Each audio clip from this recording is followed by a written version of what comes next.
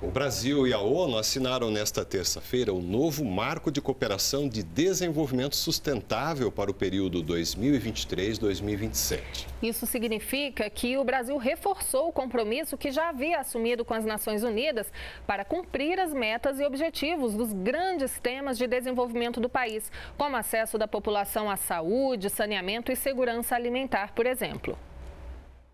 O marco é o principal instrumento de planejamento, monitoramento e avaliação do efetivo cumprimento dos objetivos. De acordo com o governo brasileiro, o país vai acelerar e retomar a prioridade na implantação da Agenda 2030 para o Desenvolvimento Sustentável da ONU. É consensual que o cumprimento dos Objetivos do Desenvolvimento Sustentável até o prazo acordado de 2030 exigirá uma aceleração significativa do ritmo de implementação que tem se observado até o momento. A agenda é um plano global adotado pela Assembleia Geral das Nações Unidas em 2015.